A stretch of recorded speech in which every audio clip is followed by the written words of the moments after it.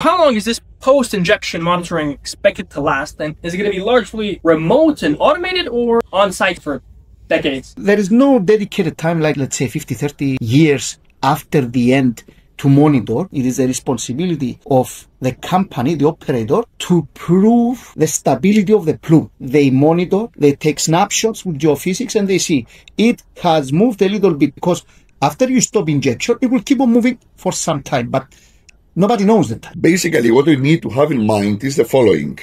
Prinos, for example, is a closed system. If we stop injecting CO2 today, the CO2 will still keep moving very slowly. So the question is, uh, is a dangerous situation being developed over time or not?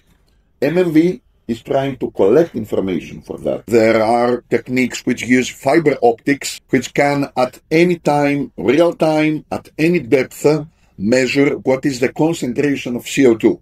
If there is a huge deviation, something is completely wrong and you need to revisit the whole project. However, there are also operations which cannot be kept uh, distant. For example, geophysical surveying. One of the methods to understand where is my CO2, where has it migrated? People are, will be working on a hybrid mode. Some remote information and some operations that will be taken on site.